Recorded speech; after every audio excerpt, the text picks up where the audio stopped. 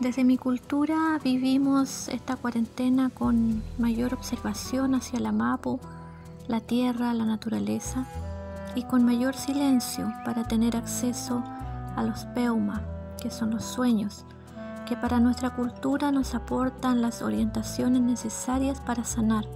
Como mapuche hay saberes que aprendí desde niña, como aprender a observar la tierra y entender sus códigos.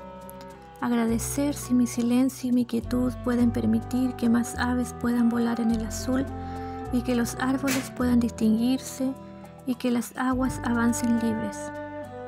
Hoy la Mapu, la tierra, está respirando y ocurre en Rimu, en el periodo en que la naturaleza descansa. Así hoy podemos apreciar los colores otoñales, las aves ocupando el cielo y los árboles. He visto cómo se reúnen y cantan, son cada vez más. Hasta he visto regresar a las mariposas. La mapu está sanando y bastaba con quedarnos quietos. Espero que se quede la sabiduría, los aprendizajes de este tiempo, el aprecio por la vida y de cada ser humano con los que habitamos.